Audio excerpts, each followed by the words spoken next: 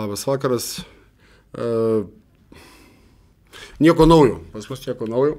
Kaip sakau, tikrai gerus, gerus momentus keičia blogi. Ir vėl tai sprendimai, ypač antram ketvirtyje buvo, kur praleidom šešis taškus greitam polime, keturis taškus prie putbekų situacijų. Vėl nesugebam kontroliuoti vienodai to tempo rungtynių nuo pradžios iki galo be kažkokių duobių. Įkrentam visi į duobės ir su, su, su klaidom, su tojais tokiais paprastais sprendimais, kuriuos, kuriais duodam savo priešininkam lengvus taškus. Daugiau tai po to vėl, sakau, tai geri momentai tikrai. Gera presija, gynyboje, pasižaidė jauni žaidėjai daug, taip kad čia pozityvūs dalykai. Taip pas minėjo daug žaidėjų jaunimas, ar esate patenkintas, Giga šešis taškus sumetė rungtynių pabaigoje? Na, matėte, jam sunku buvo, jam reikia to žaidybinės praktikos, taip kad nu, tikrai stengsimės to duoti ir, ir, ir žiūrėsim, ką jisai mums gali atgal duoti. Labas vakaras.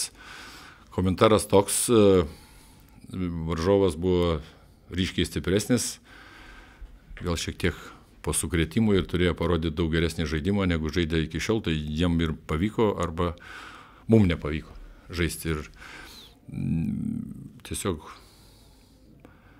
reikia gyvenimą priimti toks, koks jis yra, ką duoda. Čia nereikia nervintis, nei aš labai pykau ant tų savo žaidėjų, nieko, aš matau didžiulį meistriškumo skirtumą ir reikia daug mokytis, reikia visokių tokių gudrybių, aš pamatau jų išplėstas akis, o treneri, ką čia reikia daryti. Na, aš esu sakęs, krepšinis tai žaidimas su milijono variantų ir kiekvieną neatsiminsi, tiesiog reikia mokyti skaityti e, tas situacijas. Aš tikiuosi, kad išmokysiu ar stengiuosi tai padaryti. Ir tiek ir ateityje rodysim geresnį krepšinį. Šiandieną nepavyko. Ir iš labiau patyrusių žaidėjų. Na, yra kaip yra.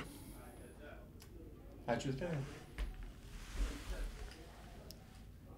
Tai klauskit. Žiūrėkit, bet ant galinių nutiko, sakykit. Trys kėlinius dar, dar buvo toje kovoje, o jausmas, kad ketvirtajame komandų nuleido rankas. Taip, aš galvoju, kad nuleido. Reikėjo gal šiek tiek e, šviežesnių žmonių išleisti, ar dar kažkaip reikia, reikia ugnelės, nes neturime kažkiek tų žaidėjų, tokių patyrusių, bet jeigu ir jie nusivylė arba nuleidžia rankas, kaip, kaip klausėt, tai kaip, kaip kitiem ten užsivesti. Ir jiem aš nors ir auklėjau, prašau, kad jūs labai skaudu būna dar kažkas, bet jūs suraskit jėgų šypsenai. Neturi būti nuleistos akis, nuleistos galvas, dar kažkas, nuo to reikia pradėti.